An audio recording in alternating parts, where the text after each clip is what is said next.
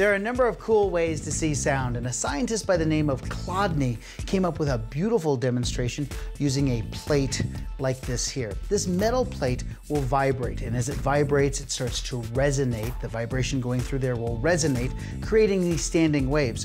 Put the plate on top of a sound speaker. And now our frequency generator here will create the frequency. Listen. It's that very low. You might be able to see the vibration here of the plate as well. See how it's vibrating?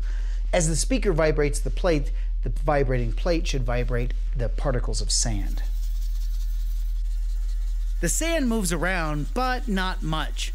Let's see what happens when we raise the pitch.